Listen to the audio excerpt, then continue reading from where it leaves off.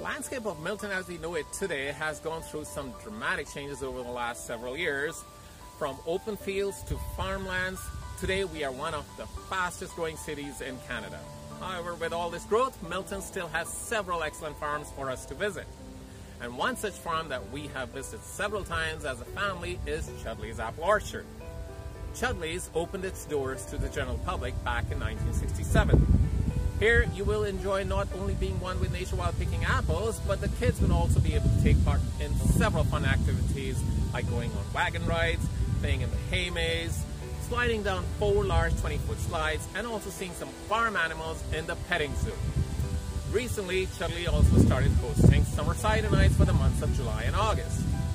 Over the years, Chudleigh has not only become famous for their apple pies, but also several other savory treats that you can buy right out of the farm or also at some of the local grocery stores.